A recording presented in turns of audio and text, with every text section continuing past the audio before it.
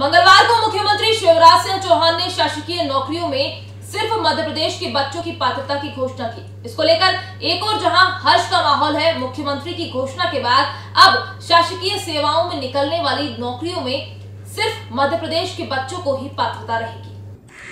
एक तिथि तय करना है, वो एक सितंबर हो सकती है, आप विभाग में और विचार कर लें। और अपने हाथों से खाद्यान्न वितरण शुरू करेंगे। मैं भी कहीं से करूँगा।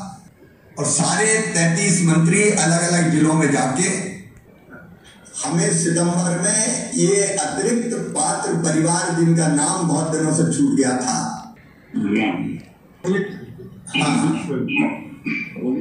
हाँ, आज मध्य प्रदेश सरकार ने एक महत्वपूर्ण फैसला किया है। मध्य प्रदेश की शासकीय नौकरियाँ अब केवल मध्य प्रदेश के बच्चों को दी जाएगी। इसके लिए हम आवश्यक कानूनी प्रावधान कर रहे हैं। मध्य प्रदेश के संसाधन मध्य प्रदेश के बच्चों के लिए।